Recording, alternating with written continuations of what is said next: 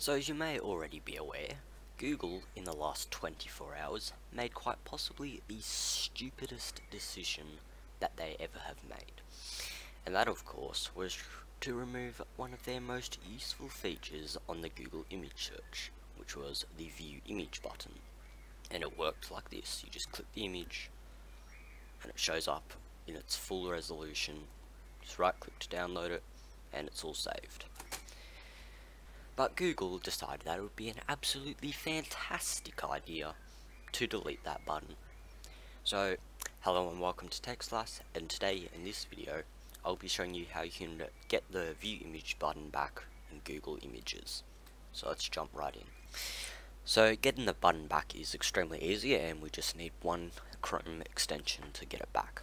So what you want to do is just go to this link which I'll put on screen and down in the description.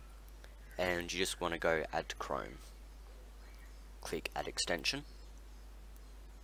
And there you go. You can see view image has been added to Chrome. So now just go to images. So we'll just type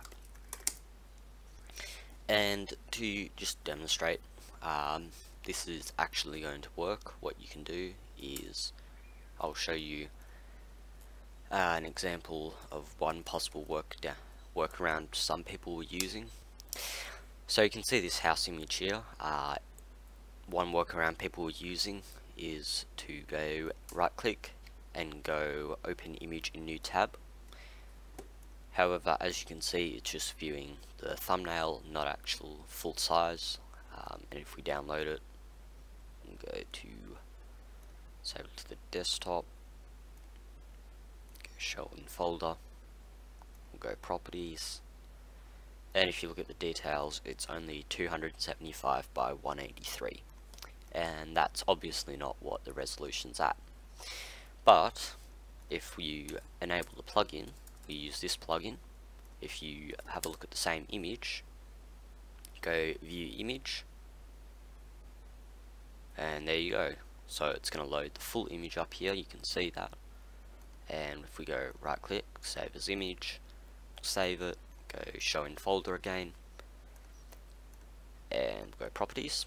And in here you can see a see the information. It's 5408 by 3605 so that's full resolution image and this extension just adds back the feature Google removed.